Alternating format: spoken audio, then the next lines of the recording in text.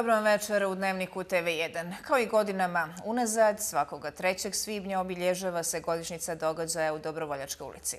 Tako je bilo i danas. Obočina polaganja cvijeća prošla su bez incidenata, no jedan se desio nešto kasnije. Dobrovoljačka 24 godine poslije. U nekadašnjoj Dobrovoljačkoj ulici u Sarajevu prvi su se okupili pripadnici Udruženja Zelene Beretke, a kako bi odali počast borcima i građanima Sarajeva koji su stradali na tom mjestu prije 24 godine.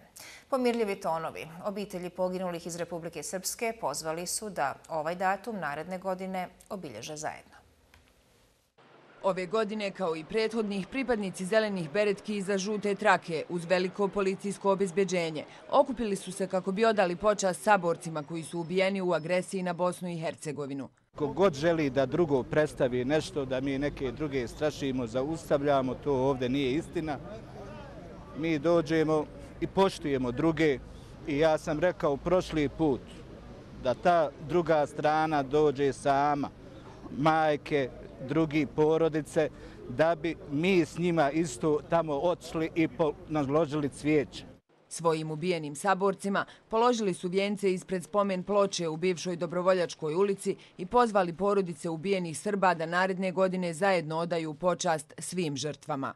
Ja iduće godine pozivam tu, tu naš familiju, porodicu, da se s nama čuju i mi ćemo zajedno cvijeće položiti. 3. maja 1992. trebala je biti izvršena razmjena tadašnjeg vojnog vrha druge vojne oblasti i vojnika iz Kasarne Bistrik u zamjenu za zarobljenog predsjednika predsjedništva Bosne i Hercegovine Aliju Izetbegovića. Dvije kolone iz suprotnih pravaca susrele su se ovdje.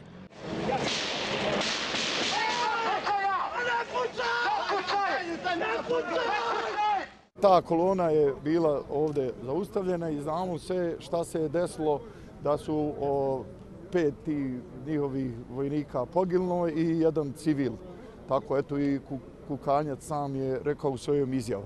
Ministar za boračka pitanja kantona Sarajevo istakao je da je ovo jedan od najvažnijih datuma u odbrani naše zemlje. Datum koji je obilježio opstanak i dalji razvoj boljitka i napretka Republike Bosne i Hercegovine. Ne vidim danas nikog od političara, ne vidim nikog od onih koji treba da daju podršku ovim ljudima i da, da na neki način pokažemo cijelom svijetu kako smo onda bili dostojanstva i danas smo. Iako se brojkama poginulih u Dobrovoljačkoj ulici i danas manipuliše, prema podacima tužilaštva Bosne i Hercegovine stradalo je sedam, a ranjeno 14 osoba.